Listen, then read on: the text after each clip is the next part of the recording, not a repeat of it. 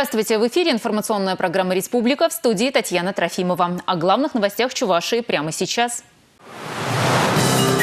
Муниципальный инвестиционный паспорт. Члены Высшего экономического совета подвели итоги уходящего года и обозначили перспективы. Спасибо вам, родные доктора. В городском клиническом центре появилась комната психологической разгрузки врачей. Лучшие в деле. Объявлены имена победителей конкурсов «Лучший государственный гражданский служащий» и «Лучший муниципальный служащий в Чувашской республике».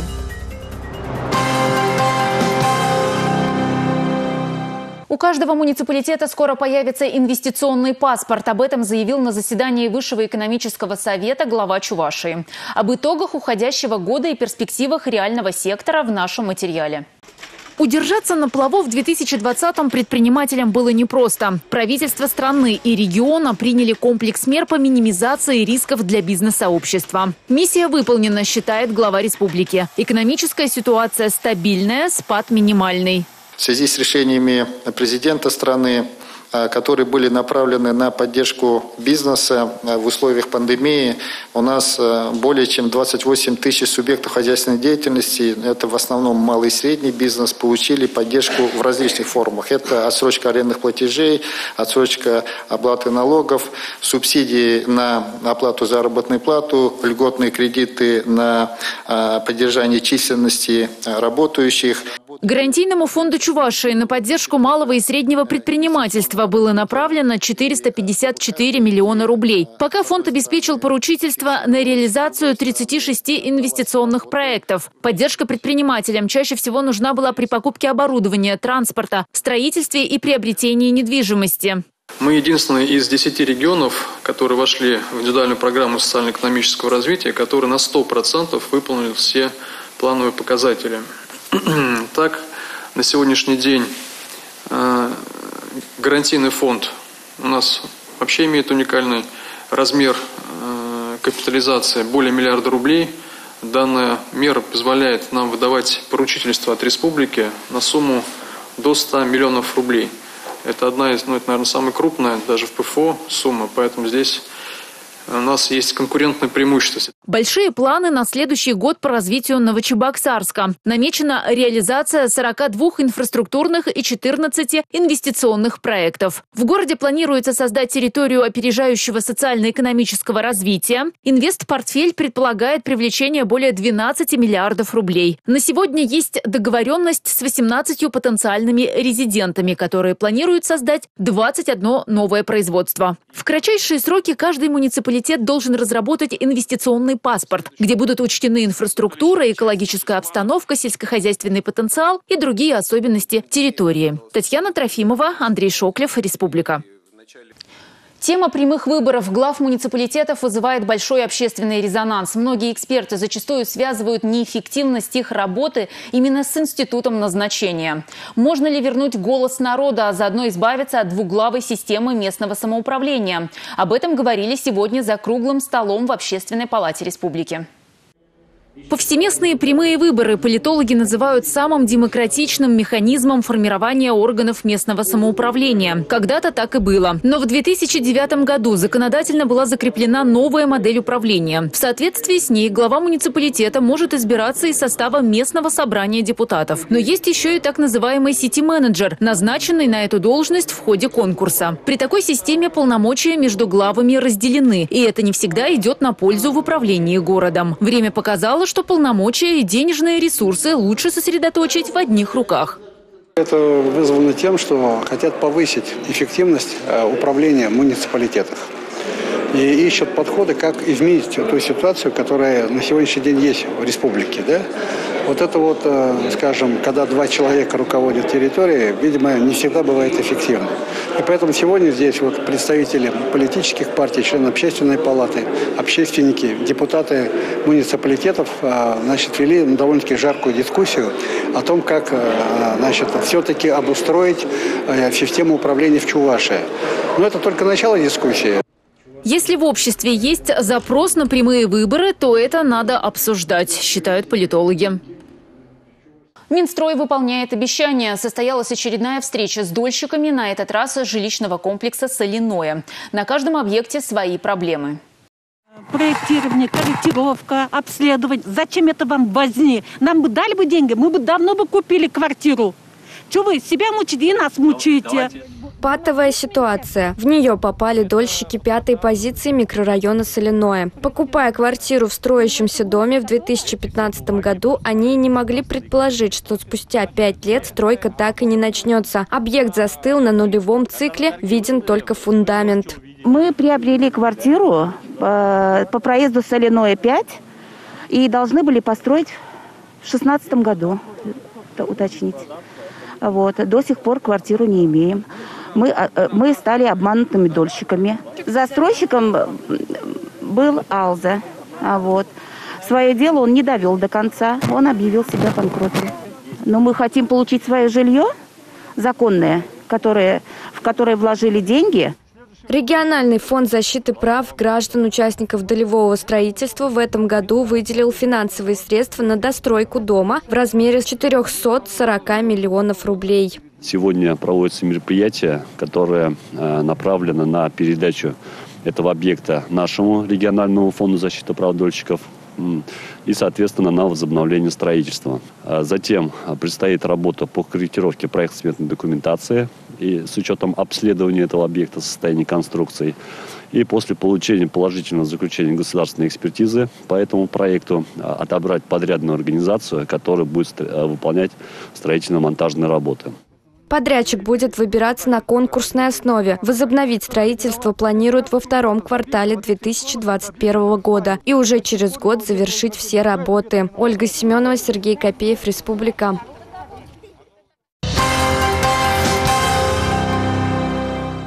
Акция «Спасибо докторам» продолжается. При поддержке Фонда президентских грантов Минздрава Чувашии и культурно-выставочного центра «Радуга» в городском клиническом центре организована комната психологической разгрузки. Теперь и в больницах медики смогут отвлечься от тяжелых будней.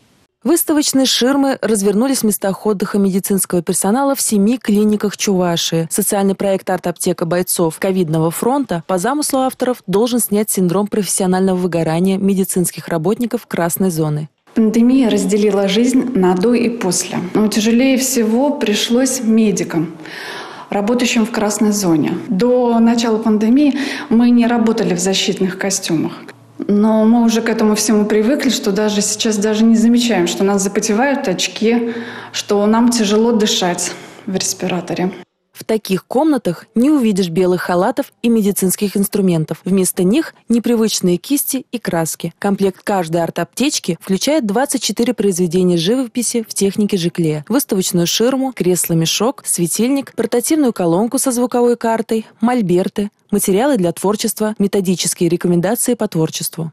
Эмоционально тяжело воспринимать, когда больные, которых ты знаешь, которых ты принимаешь, они потом умирают. Приходишь на следующее дежурство, их уже нету. Они поступают э, еще с надеждами, с планами с какими-то. И просто приходишь, и все, человека нет. Это, конечно, очень тяжело переносится, и их немало. Открытие этой площадки помогает нам эмоционально разгрузиться, все-таки а, творчество, оно способствует а, каким-то возникновению каких-то положительных эмоций и, в общем-то, в какой-то степени, возможно, нейтрализует те отрицательные эмоции, которые мы получаем. Спокойная музыка, виртуальная реальность. Вот она, прогулка вместе с художниками по лесным дорожкам, горным тропам и долинам. Я сама тоже э, и врач, и художник. У меня две профессии. Терапия включается в работу правое полушарие головного мозга и включаются дополнительные резервы. Да есть такое слово «нужно». Время выбрало нас. Поэтому бывает и трудно. Но вот такие вот комнаты, как арт-терапия, они, конечно, нам помогают. Екатерина Шеверова, Николай Скворцов, Республика. Лучшие в деле. Объявлены имена победителей конкурсов «Лучший государственный гражданский служащий» и «Лучший муниципальный служащий» в Чувашской республике 2020 года. Такие конкурсы делают чиновников профессиональнее. Ежегодно участники представляют свои проекты, связанные с улучшением качества работы органов госвласти. Новый взгляд на привычные вещи, свежие идеи и предложения обретают конкретную форму. Так, Олеся Ефремова, заведующий сектором развития малых форм хозяйствования Министерства сельского хозяйства, оптимизировала механизм реализации грантовой поддержки фермеров, владельцев личных подворий с помощью цифровых технологий и стала победителем. А, безмерно приятно, то, что мою работу а, оценили по достоинству. А, это непременно вдохновляет. Хочется, чтобы государственную поддержку сельхозтоваропроизводители получили быстрее, доступнее и проще. Для этого как раз-таки мы разрабатываем электронную платформу личных кабинетов сельхозтоваропроизводителя. Лучшим муниципальным служащим стала Ольга Тумаланова, начальник управления муниципального контроля администрации столицы. Конкурсы служат хорошей площадкой для формирования кадрового резерва на государственную службу. Ульяна Пятакова, Маргарита Мельникова, Николай Скворцов. Республика. Пандемия проверила в этом году малый бизнес на прочность и выживаемость. Не все сдали этот экзамен, но те, кто воспользовался мерами государственной поддержки от Центра «Мой бизнес», выиграли и сумели остаться на плаву. Инвестировать в будущее с такой командой профессионалов не страшно, считает Роман Туров. За шесть лет принцип работы его коллектива не изменился. Только постоянное развитие ведет к цели. А для тех, кто хочет развиваться, все двери открыты, уверен Роман. Сегодня открытая политика. Пожалуйста, приходите в мой бизнес, проконсультируют, предложат по телефону, позвонят. Придите в Министерство экономического развития, там тоже двери открыты. Нас везде консультировали, никто нам не отказал. Среди наиболее востребованных форм поддержки в этом году поручительство и микрозаймы гарантийного фонда. Поддержку по этим двум видам получили более 500 человек. В центр могут обратиться те, кто открыл свое дело, и те, кто только собирается. В 2020 году, несмотря на эффект коронавирусной инфекции, мы достаточно активно проработали и предоставили более 400 микрозаймов на сумму более 960 миллионов рублей. А в следующем году также планируется поступление субсидий, и мы планируем объем а, поддержки на уровне также 600-700 миллионов рублей. Мы также будем проводить обучающие мероприятия в различных акселерационных форматах, форматах мастер-классов, проведения тренингов. Системные меры поддержки по достоинству оценили многие предприниматели. Кто-то, открыл для себя новые рынки, увеличил объемы продаж, а кто-то повысил свои компетенции в таких направлениях, как менеджмент, маркетинг. Маргарита Антонова только в этом году зарегистрировалась как индивидуальный предприниматель. Она шьет детскую одежду. Чутье ее не подвело. Онлайн-продажи по сравнению с офлайн в этом году так выросли, что сомнений в выборе не осталось. Уже много лет э, вынашивала идею производства детской одежды э, и первоначально обратилась в Центр «Мой бизнес» за образованием. Я прошла программу «Мама-предприниматель» летом этого года. Получила базу знаний, а также поддержку в виде субсидий на сертификацию моей детской одежды, а, а также субсидию на услуги фирмы, которая помогает э, поставщикам выходить на крупные маркетплейсы. В этом году в республику поступил 1 миллиард рублей на поддержку малого и среднего предпринимательства. Средства из федерального бюджета по индивидуальной программе социально-экономического развития поступят и в 2021. Это позволит не сокращать объемы поддержки начинающих предпринимателей. Эксперты уверены, что бизнес продолжит развитие, если сохранит гибкость и качество. Большое кино возвращается на село. В Порецком районе состоялось торжественное открытие кинозала.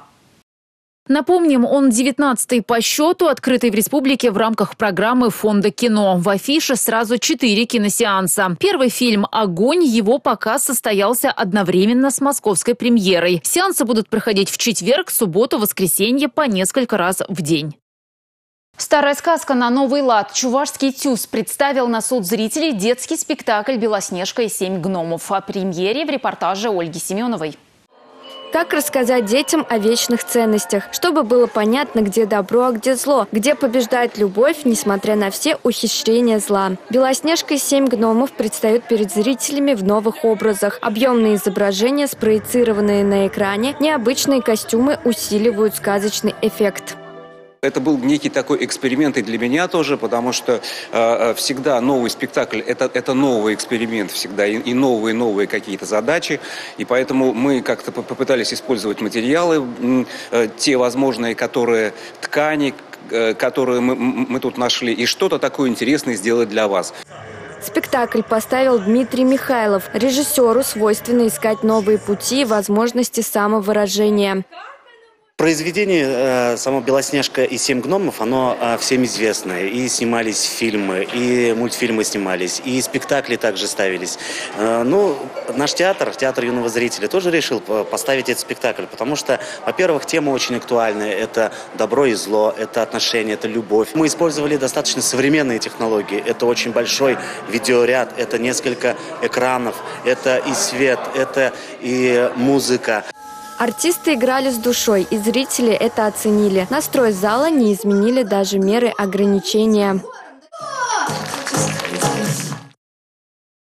В преддверии Нового года корреспонденты национального телевидения вышли на улицы столицы республики, чтобы узнать настроение горожан. Ожидания чебоксарцев в нашем сюжете. Я надеюсь, что следующий год э, пройдет лучше, чем этот, то, что все будет хорошо и наладится.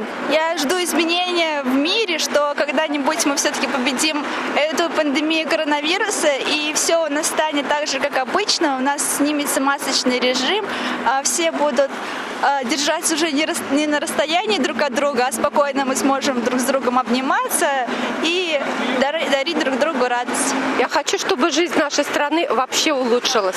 Экономически улучшилась ситуация каждого человека. Будем надеяться, что пандемия закончится, то, что все будут здоровы, никто не будет больше болеть.